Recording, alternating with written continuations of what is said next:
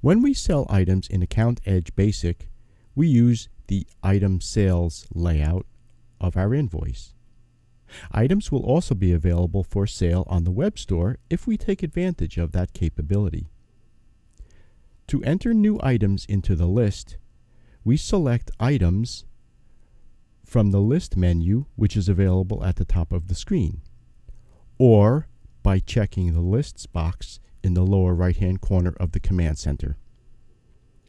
If we're adding a new item, we would click the New button, and then enter our item number and our item name.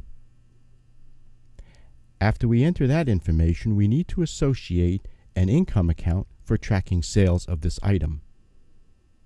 We would set its sell price and the selling unit of measure.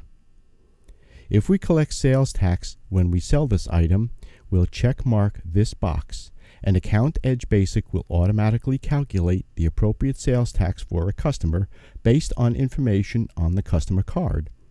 And AccountEdge Basic will add this sales tax on the invoice.